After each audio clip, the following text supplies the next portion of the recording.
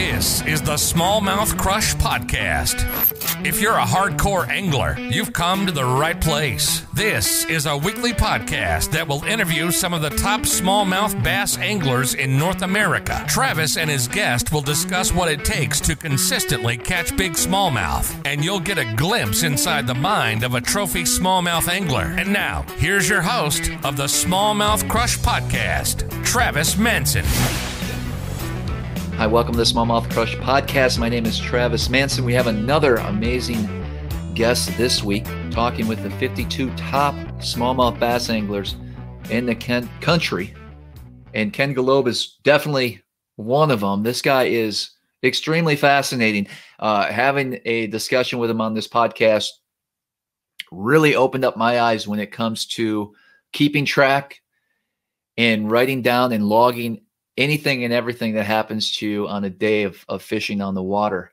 And it's something that I plan on implementing in the future when it comes to my fishing.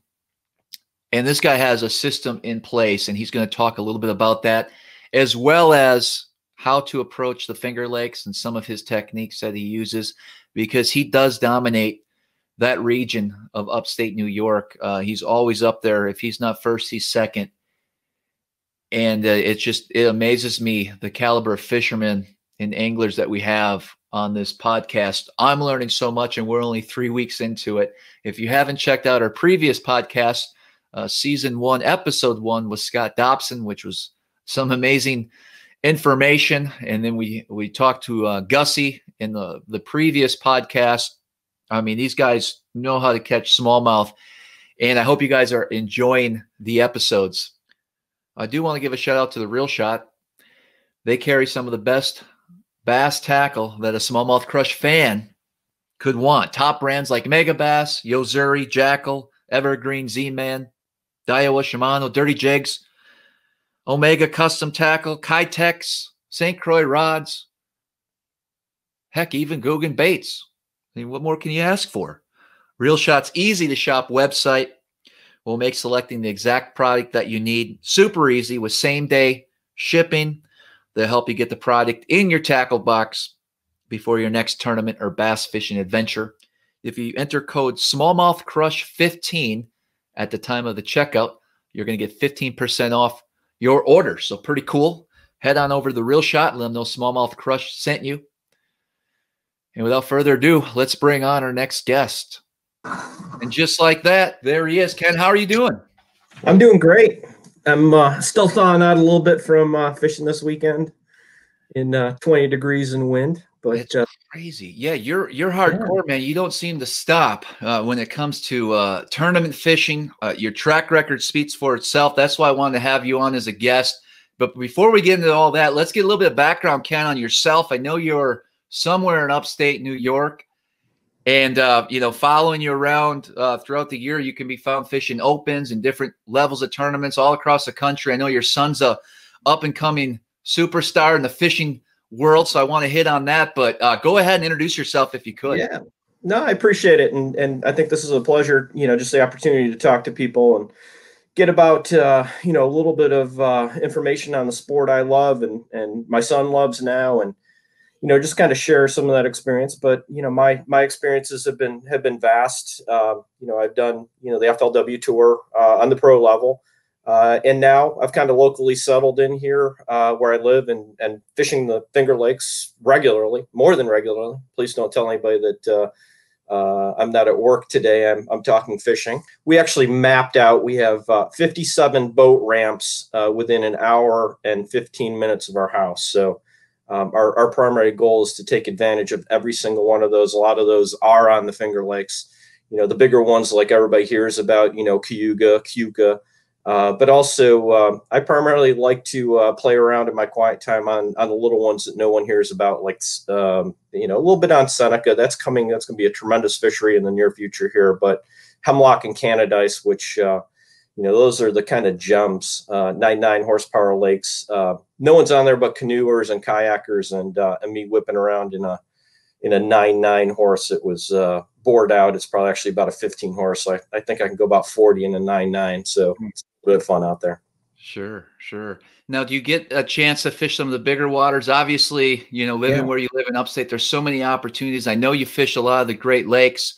Uh, what would you say is your favorite place to to smallmouth fish in the country? If you could pick in the country, I, I'm I'm 30 32 minutes away from one and, and 27 minutes away from the other because I know that there's not a stoplight between uh, uh, me and the lake. Uh, but Hemlock and Canadice, those are uh, really the two um, horsepower power restricted uh, lakes that literally, if I go on there and see a boat. It's a it's a major surprise. So those ones are, are kind of uh, in my back pocket. Um, gives me a lot of time to experiment. Those fish don't see pressure, so I can go in there with with new baits and new ideas and new techniques and and really have fish that um, you know kind of bite pretty willingly. Sure, you bring up a good point. So some of these lakes that are not as pressured, that's where you're going to experiment a little bit with different different baits that you're you're you're looking at maybe using on some bodies of water that see you know the same thing all the time. Yeah 100% it, just kind of gives you the confidence. The population in those lakes is a lot healthier and and literally those fish will react uh, to things. So if if i'm you know fishing a heavily pressured lake that we have a lot of tournaments like conesus that type of thing and i've got an idea uh, in my head to try something, generally I'll run out to one of those two lakes first and, and just make sure, you know, it's something that's going to work. Um, you know, and it, it's kind of, you know, they're not Goby system lakes, so you don't have the gobies. Those lakes react a little bit different, but you know, as far as the seasonal patterns, um, it's real easy for me to follow those fish because they're in such big groups.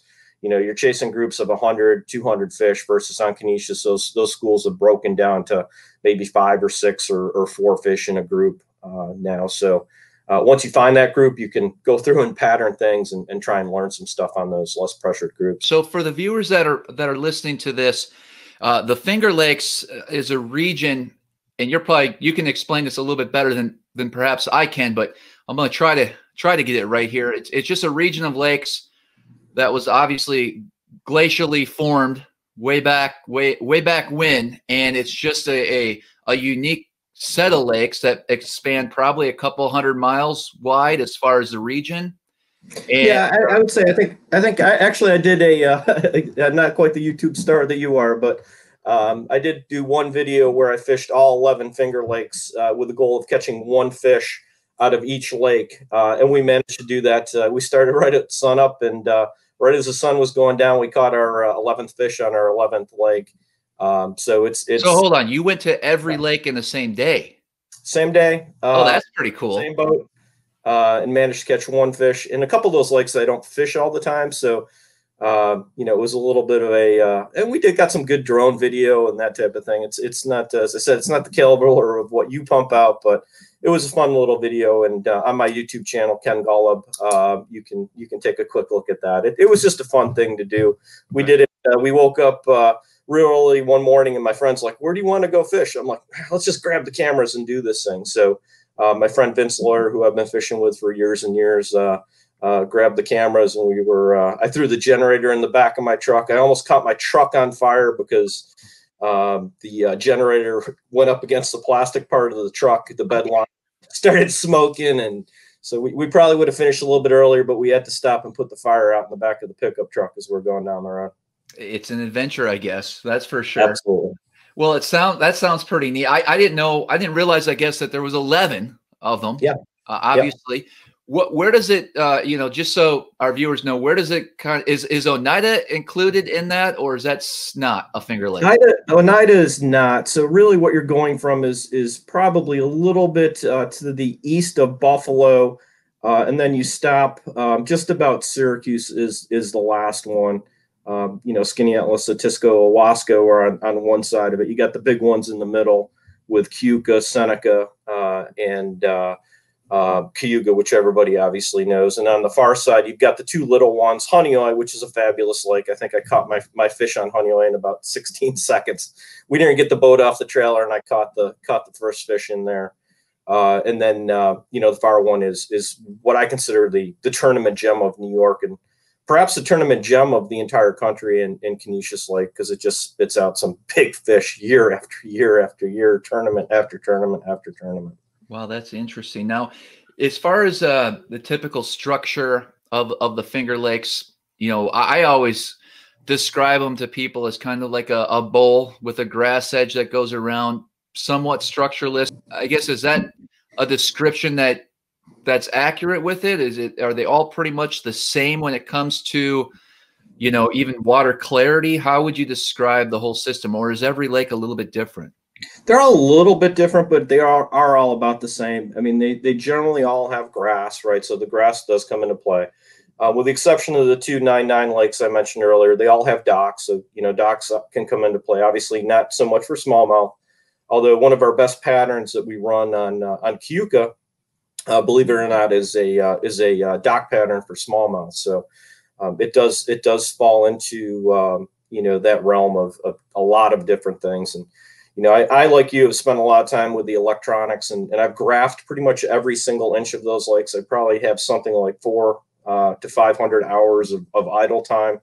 Um, and there's some real interesting history that's sunk into some of those lakes. There's coal barges that uh, hold fish on Seneca. There's uh, um, two. Uh, there's actually an old fire truck that I uh, found that uh, I catch fish off that someone must have drove out on the ice after having a couple too many cocktails and old boats and that type of thing. That you know that type of structure in these type of lakes where there's not a lot of other structure uh, really comes into play as well too. Sounds like there's a lot going on on those lakes.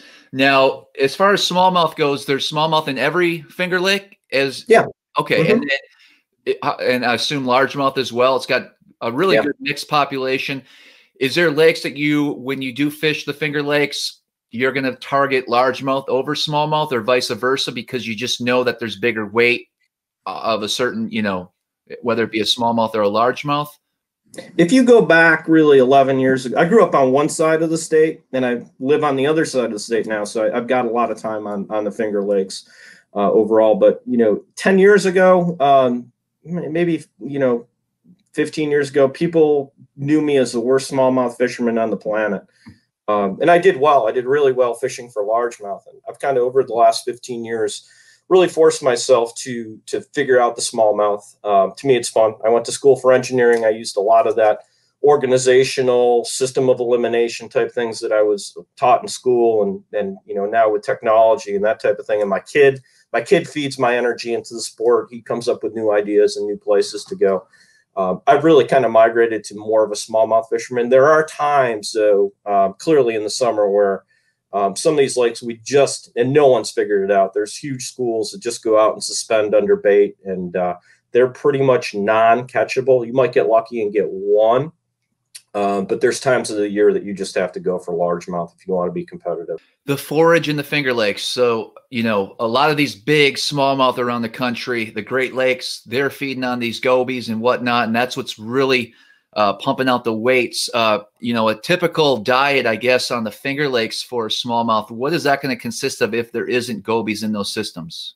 Yeah, so where I'm starting to see gobies more and more, I do see them in Cayuga. I'm starting to see them in Seneca, but other than that, um, most of those bodies of waters are not connected, um, so they still haven't been introduced, and and they're still feeding on. Uh, uh, well, some of the ones like Canada uh, has smelt. That's perhaps the only one that has a decent population of smelt, but I think in the Finger Lakes, um, seasonally, uh, you're going to see you know different forage come into play. More crawfish.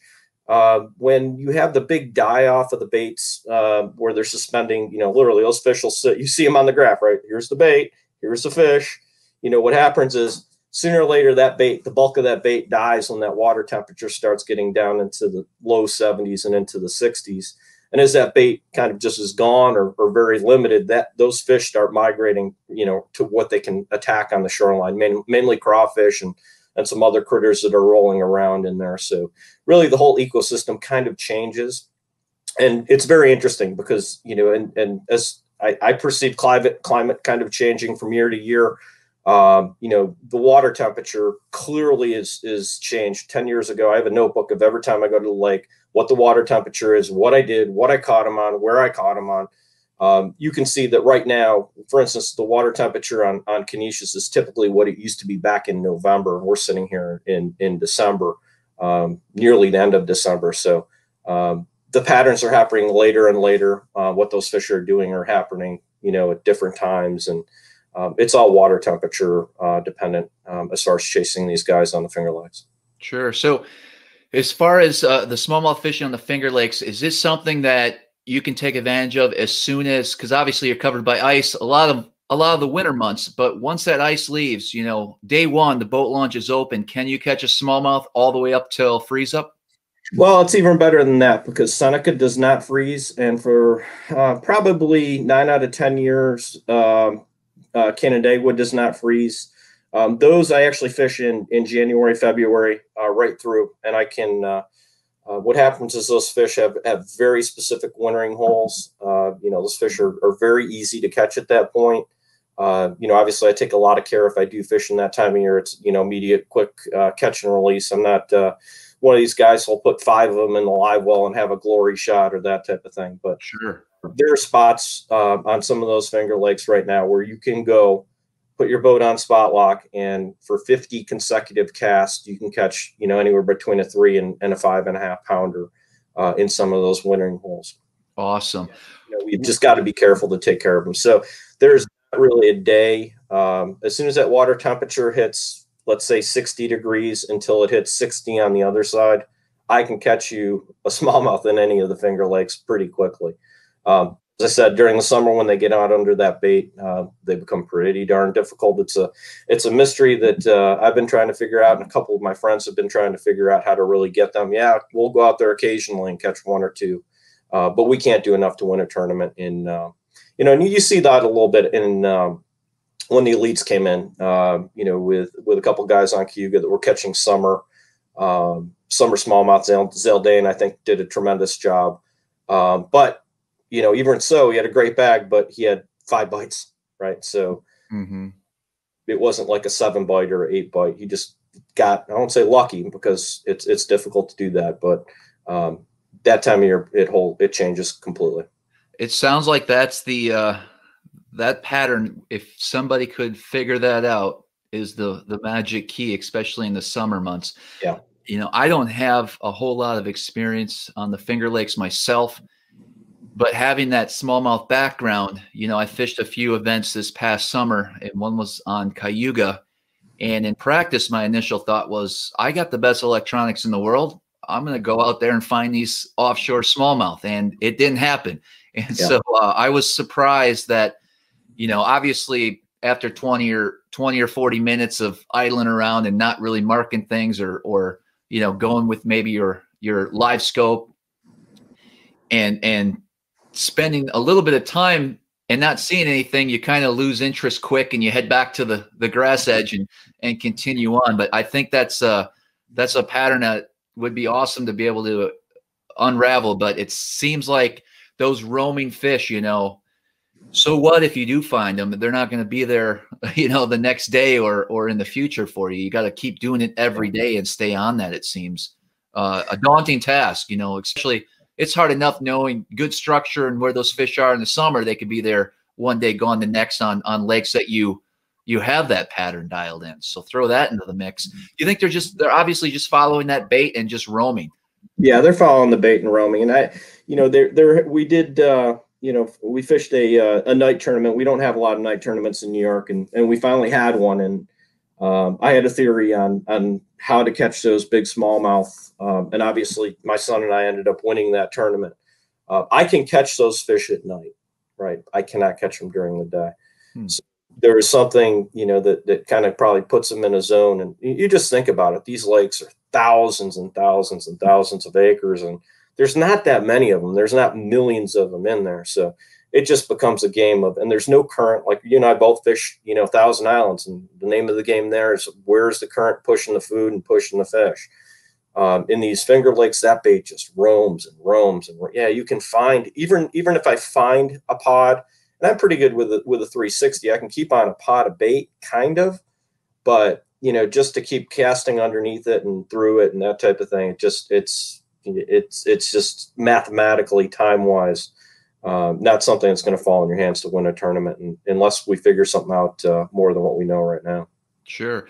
What do you think your your biggest uh, strength when it comes to smallmouth fishing is, as far as uh, techniques? Like, what's a what's a pattern you you are like? all excited about if you know that's how you're going to be able to catch them? I mean, I, I'm kind of going to go around that question a little bit with really what I think makes me a little bit better. And, and, and, you know, I, I've really got, and I literally Excel sheet it, right? I'm a, as I said, I'm an engineering nerd. Um, I Excel everything that works, when it works, the water temperature that works, and, and I've got it all drawn out. I've, the number is 38. I have 38 different baits hmm. that catch smallmouth on. And when I'm going, you know, to a location, I'll look at some things. And unlike largemouth, where I don't think moon phase plays a lot into it, I think it does play a large part of it. You know, the feeding cycles throughout the day uh, for for smallmouth, they really do react to that. Where and I think largemouth, you put it in front of them, they're going to eat it. But you know, for instance, this week, this weekend we're fishing on Harvey's Lake, and I knew it was just it was going to be dead between eleven and one o'clock. It was just a dead part of the of the day, and sure enough, we didn't get bit during that part of the day and as soon as that that cycle started coming back in uh, you know we kind of took advantage of, of that and they started eating again but yeah it, it really comes down to me organization. If it's cloudy i know what bait to fish. If it's sunny i know what bait to fish. If it's you know current i know which bait to fish. You know if it's colder temperature i know you know to go with a blade bait. So i, I won't say it's one specific bait. There's baits i, I like fishing more than others. Mm-hmm but I don't ever try and get hung up in that because you know the couple times I've done that I've, I've been very fortunate. I fished with Jamie Hartman quite a bit. I've got a couple friends who are, are killer smallmouth, um, you know, a- anglers that uh, I've fished with, and I've just learned don't go in hard headed with with one bait and try and make it work. Find a series of baits, you know, and then kind of see what time and, and condition, um, you know, fits right. And perfect right. example is that was is what what. Uh, uh, I know Jamie was struggling up, you know, in the uh, Elite Series up on uh, on Champlain, and he went to a Carolina rig. That's something that we we played with before, and, and we'd got it to work. And he just kind of rotated through his baits, and, and and all of a sudden the Carolina rig is is is where other people were struggling. Um, so I, I, don't really pigeonhole myself into into one bait. I really kind of look at, at the whole arsenal that uh, that we've amassed over the years. Wow. So you uh, there's a lot going on. What you just said in the last uh, five eight minutes here uh, responding to that question. You know, Excel spreadsheets, keeping track. Yeah. That's pretty yeah. extreme. Uh, I get it though. I mean, if if someone was disciplined enough to, I wish I did. You know, I have I have some videos that I can go back on, and that's very helpful. But that's about it.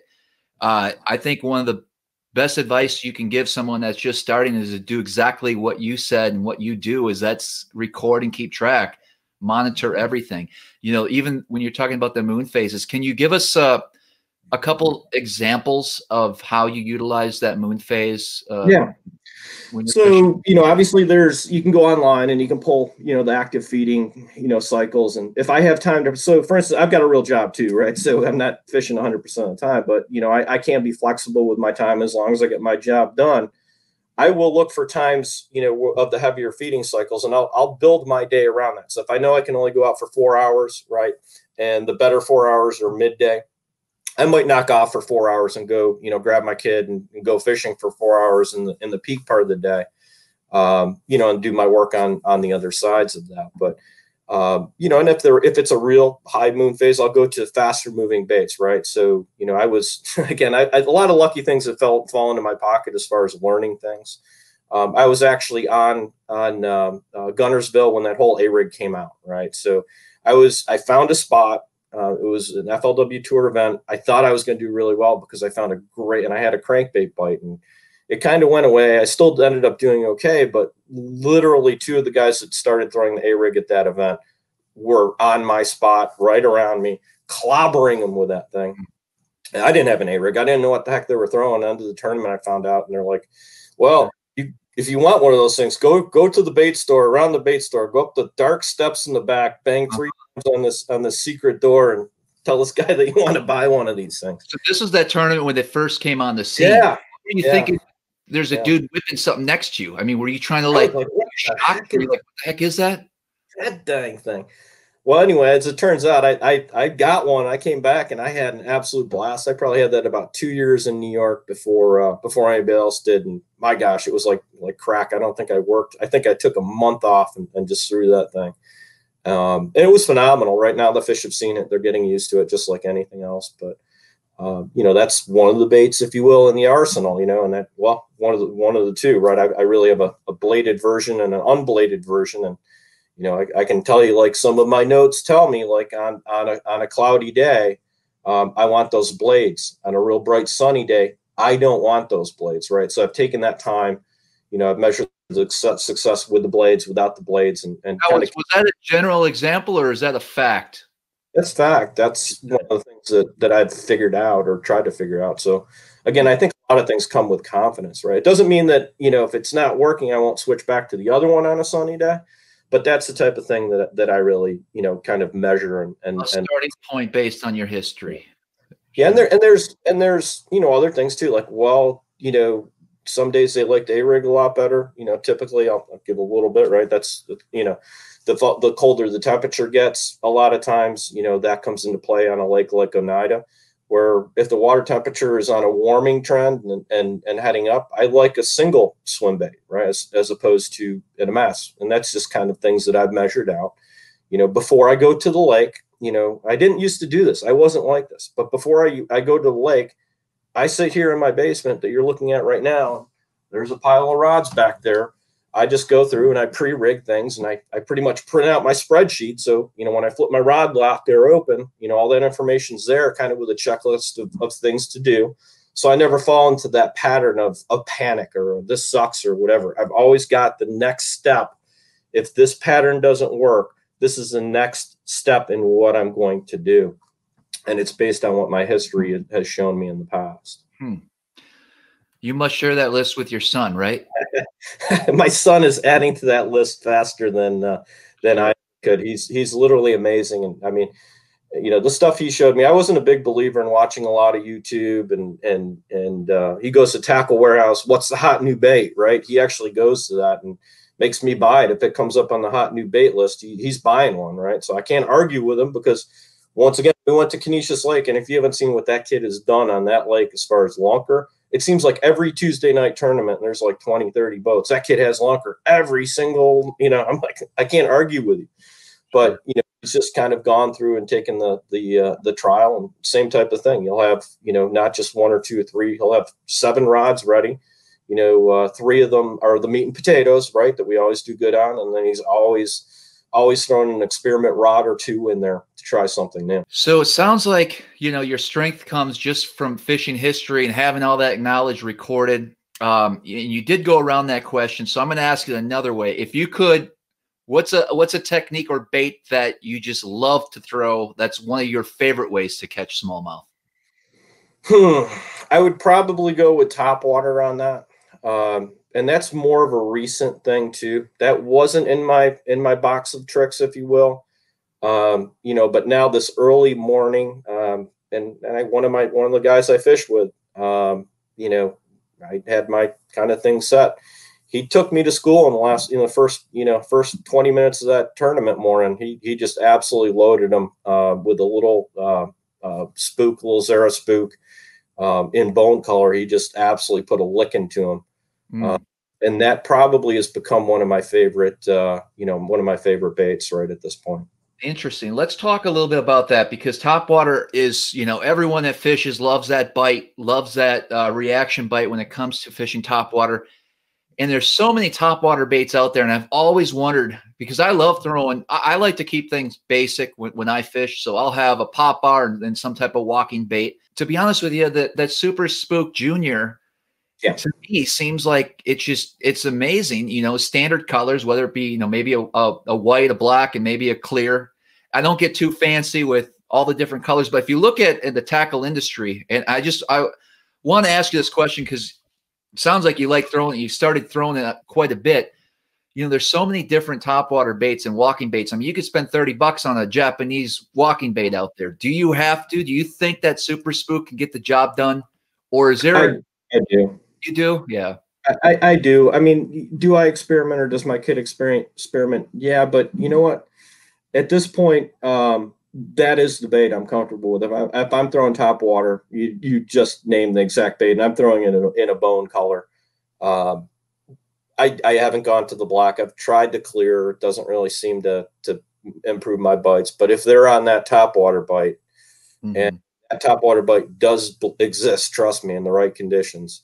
Um, that's pretty much the betting I throw. I mean, I, I don't have the patience. You know, again, some things that go into what are you good at. I I don't have the ability to throw a Pop-R. I'm just not that patient.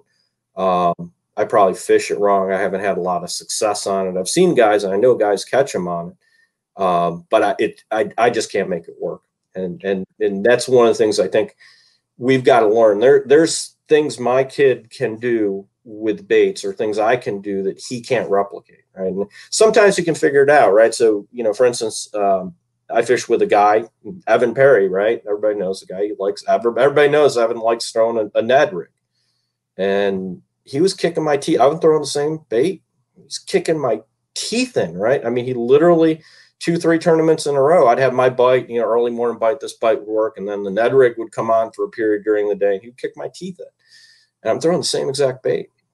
And then I finally said, "Let me pick up your your rod. Let me throw this." I, you know, I call I, I call it the trailer park bait because I hate the thing, but I love it because it works. I'm like, "Let me throw that thing." First cast out there you know that rod just made that bait a little bit different uh, the way it acted and um, i bought myself a rod and now i can keep up with them um, you know some days i can beat them on that bait but it, it's it's the rod you know i think that there's there's definitely uh, some differences that you know the rod and the tackle and the line and that type of thing all kind of can filter in and and and really make a big difference. So i i agree 100% with you. There's so many instances especially when you fish with somebody else in the boat and you know why is that person getting more bites? You're using the exact yeah. same bait and it does come down to sometimes you know your line and your rod and the action of that rod and how you work it all the cadence and everything. It's mm-hmm. it's always a mystery though. There's so much that goes into it you know obviously you have things really dialed in and, and my next question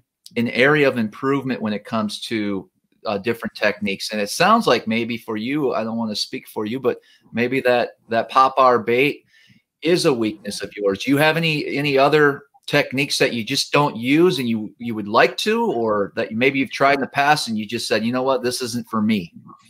I I think I started when I started becoming really successful uh, locally with smallmouth. It was on the drop shot, and I did okay on it.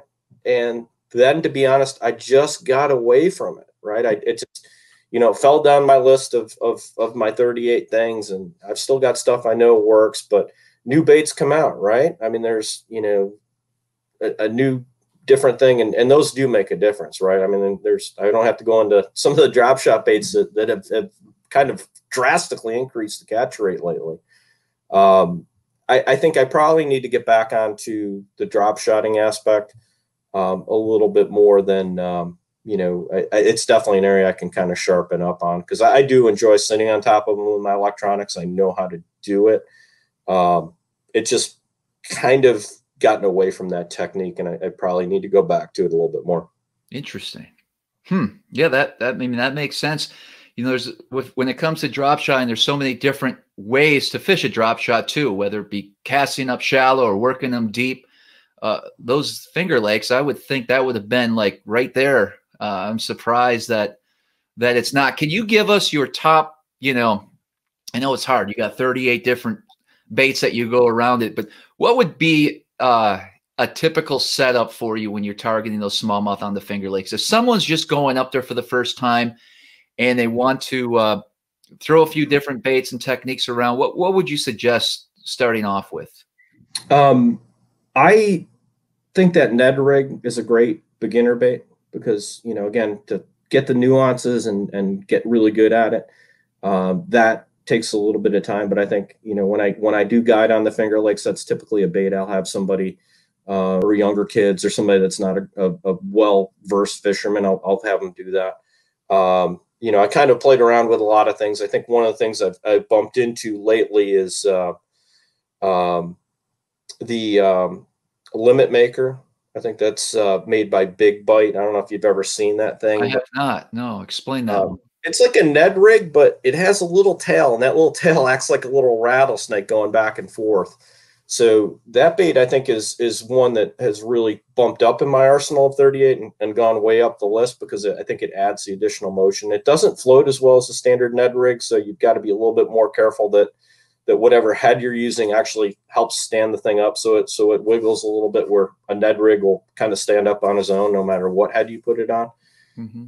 That limit maker I think is is really a quality bait, uh, especially for pressured fish. The other thing um, I've really gotten into is is Stanley's um, uh, drop shot goby, um, and you can fish that on a football head. You can fish it on you know a regular standard drop shot, that type of thing. But uh, it's a very very very realistic um, uh, goby shaped bait, um, and the colors I think are, are just dead dead on, hmm. absolutely dead on.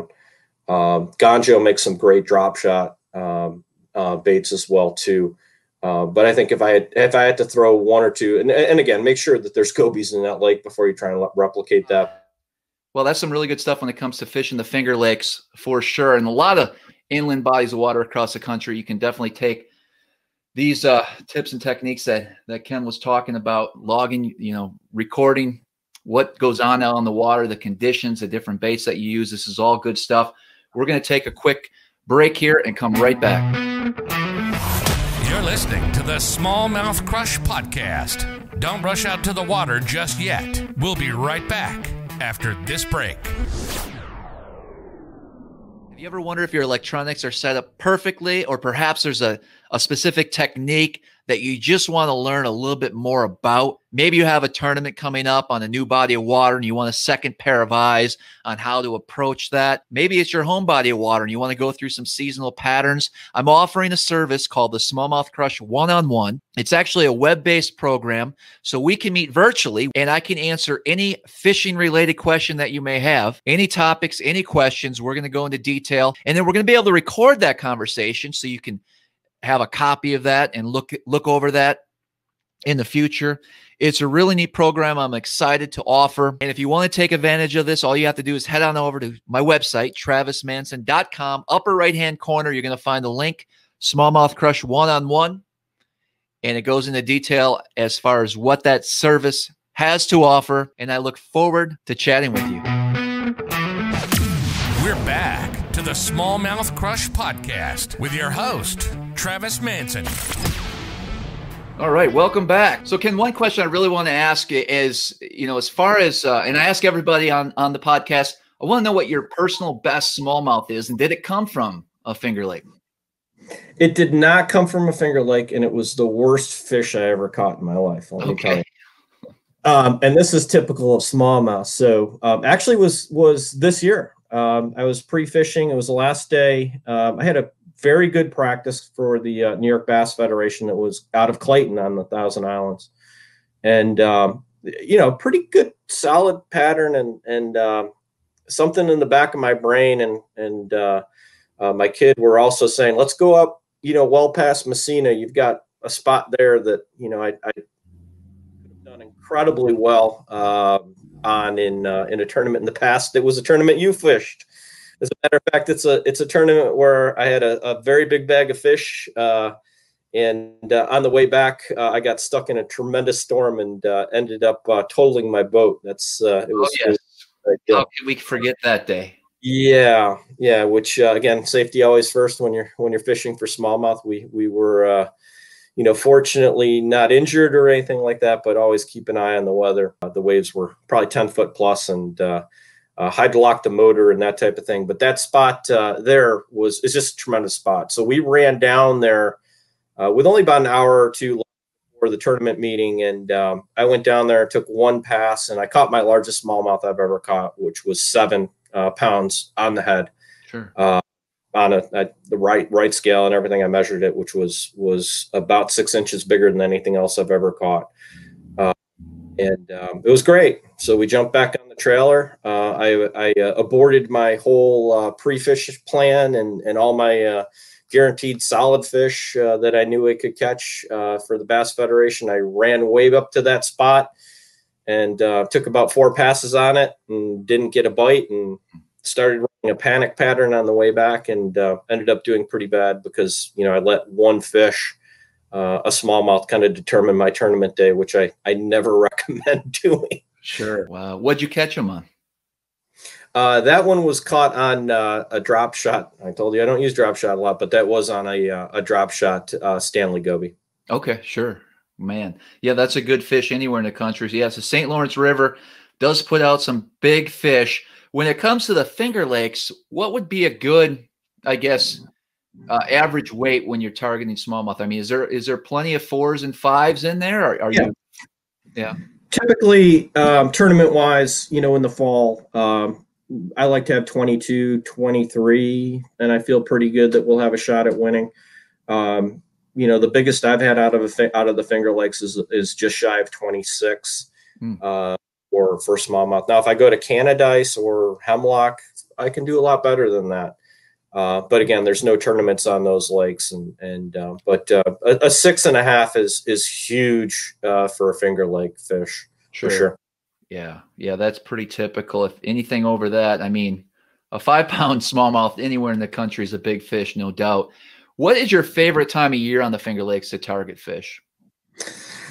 Who it depends, you know. Really, I, I like going out there on my own, right, or or with my kid in complete solitude and in a snowstorm when it's when it's 20 degrees and you're chipping ice out of your guides and and and there's nothing around but you know maybe a I've seen a bear on the shoreline or some uh-huh. deer squirrels rattling around in there, but I kind of like that solitude time where you know I'm out there on my own and uh, you know kind of experiencing you know nature with no houses and no jet skis mm-hmm. and no other anglers around. Um, and and you can catch a lot of fish at that time of year. So I, I would have to say it's it's one of those snowy January days um, where I have to put the plow on the truck and, and plow the ramp out uh, to get in and out.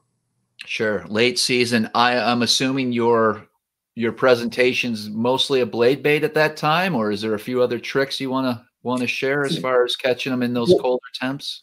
Yeah, blade bait um, definitely plays into it, um, or just a really, really, really slow drag. Um, believe it or not, the old fashioned tube um, comes into play, but it's not you know that standard drag. It's just kind of a, a very slow drag and a and a pop. Uh, the fish are very very much glued to the bottom. Um, I've learned a lot about reading a graph from that time of year. Um, sometimes we go through an area and there it doesn't look like there's any fish. Um, that's what it looks like a lot of times in in the winter. Those fish are, are belly down um, onto that bottom, and for the most part unless you're really staring at that graph really really tightly you can you know kind of see a little color variance in the bottom or or whatever. It almost looks like a stick or a you know a small rock or something on the bottom. Sure. um, you know those fish are are pretty lethargic that time of year. So it's it's got to be something really slow. Um, hair jig? Don't overlook a hair jig either right right are those uh those depths that you're targeting that time of year are you 20 plus feet or are you up shallower yeah. sometimes yeah some, I mean, up to 50 to 60 feet at times. Oh, wow. So, okay. Real deep. Yeah. Real deep. Interesting. All right. Another question we got to ask everybody. And this might be hard for you and your 38 baits that you just love. But if I had to say, Ken, next year you can only use one bait for the whole season, and that's it. What's it going to be? Ooh.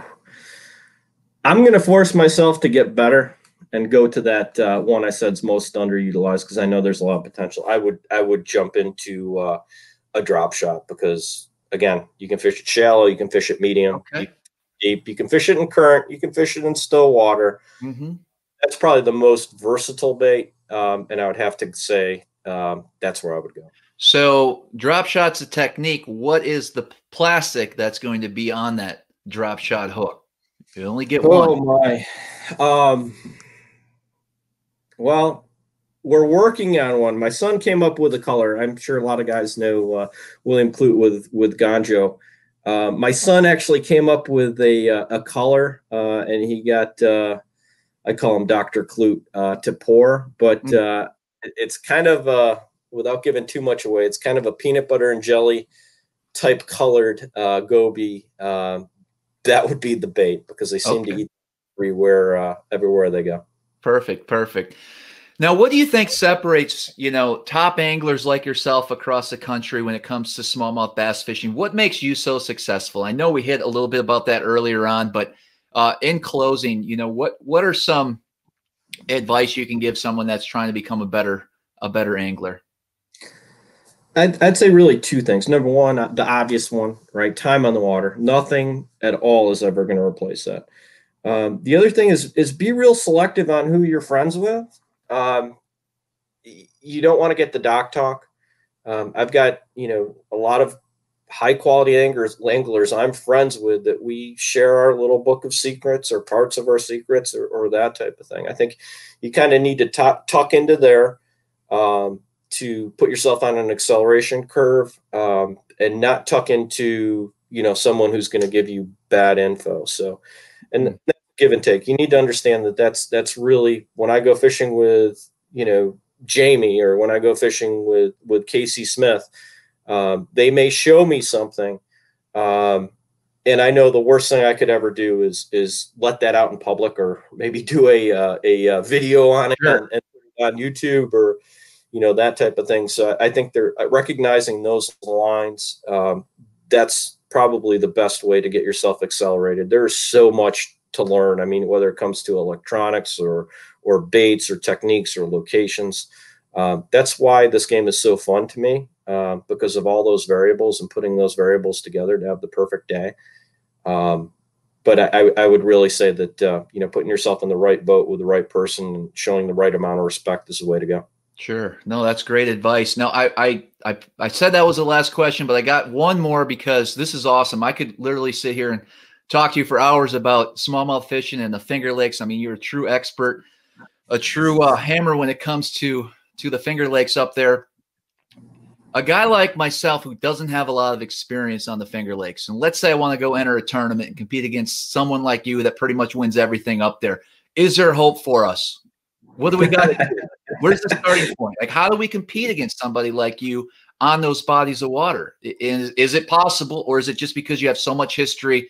You know, your top five guys are always going to be up there, and you just put time in on the water, or do we have a shot to show up and and kick your butt one of these days? Well, you got to leave my kid on the bank because half the time that I do bad, he's the one that saves me. So if he stays on the bank, um, you can do good. I, I just think that you know you have to for you have to. I, I change what I do five six times a day, right? And every single one of those decisions needs to be correct. Five different bait changes, five different location changes, intermixed. Um, yeah, you with smallmouth here with the amount of pressure, the days of going to one point and throwing one bait are pretty much gone. Mm. The days where maybe you can go to one good point in the lake and rotate, you know, throughout the day with different baits, um, you can give me and, and some of those top fives a good headache, but I don't think you can throw the same thing in the same location. You know, all, I don't think you can go around the lake with one bait in your hand. Interesting. With that all day, it just it. I, th- I think where we pick up that type five percent, if you will, picks up is the fact that we know that in the morning they want this, in the afternoon they kind of want this, and when the wind blows from the west, need to go to this bank.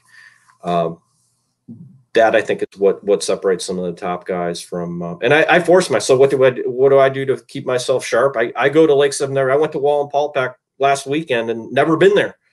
I threw hundred bucks on the table to enter a tournament and ended up second there. But you know, uh, never fished there. You know, I forced myself to look at the, you know, look at, uh, you know, the Lowrance app on my phone, find out where we're going to start and keep my knife sharp and make sure my brain is, is functioning. I'm not falling into bad habits and, and uh, trying new things. So um, I, th- I think that's kind of the key. Awesome. No, that's great. Uh, anyone who's interested in fishing the Finger Lakes, this is definitely the podcast they need to listen to. This is some really good information.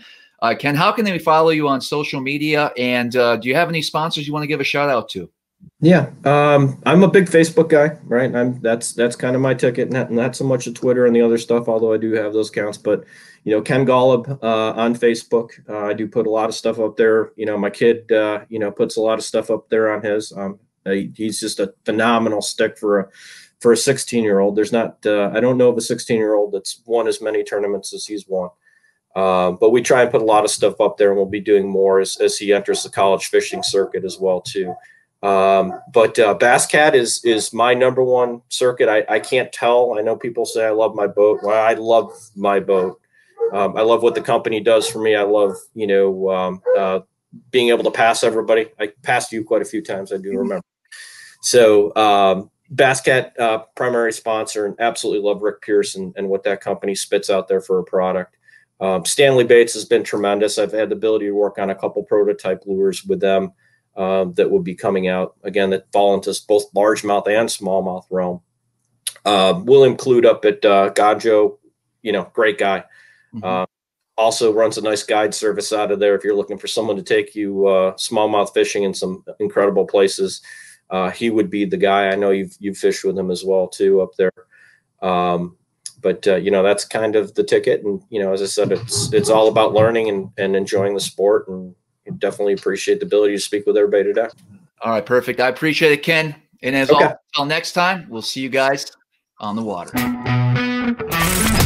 Thanks so much for listening today. Make sure that you're subscribed to the show and follow us on Instagram at Smallmouth Crush. Also, the YouTube channel Smallmouth Crush. And if you feel so inclined, please leave us a five star rating and comment with a review below. And as always, until next time, we'll see you on the water.